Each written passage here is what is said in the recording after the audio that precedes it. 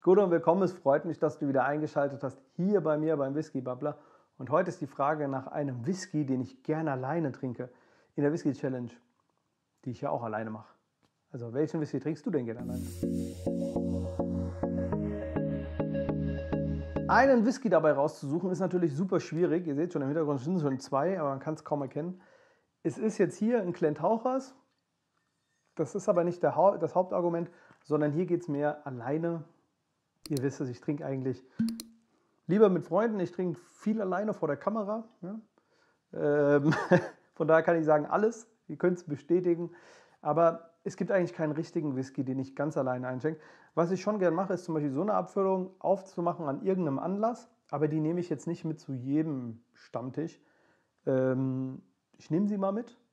Aber danach gucke ich auch gern, weil das sind Abfüllungen jetzt von 1985 also mein Geburtsjahr, Whisky, hier, hier ist jetzt zum Beispiel ein Alter Vanje, äh, 16 Jahre, Glendullen, Glendhauchers, ähm, der wurde jetzt 96 abgefüllt für so einen Berliner äh, Whisky Club, hatte ich glaube ich auch im Video verkostet oder ich hatte ein Video dazu gemacht, wo ich die ein bisschen besprochen hatte, ich weiß nicht, ob ich es verkostet hatte. Und ja, das sind dann so Abfüllungen, die ich mir dann doch schon gern mal einschenke an seinem Geburtstag und wann man das halt macht, an schönen Anlässen. Ähm, das heißt nicht, dass ich die nur alleine trinke, ne?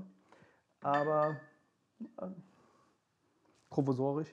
Ähm, Jahrgangswhisky ist etwas, was ich dann doch mal alleine auch für mich genieße. Mir sage, ich setze mich da mal hin, auch Samples kaufe und die dann für mich alleine verkoste. Also von daher passt das dann schon ganz gut. Das war's schon. 18 Tage haben wir hinter uns. Morgen geht es weiter mit einer spannenden Frage am 19. Tag. Ich bin gespannt, was noch alles kommt. 30 Tage haben wir in dieser Challenge hinter uns. Bald. Na, noch einige Tage sind offen. Alles geht heiter weiter. Schreib mir in die Kommentare, welchen Whisky du alleine trinkst. Und dann sehen wir uns morgen. Tschüss.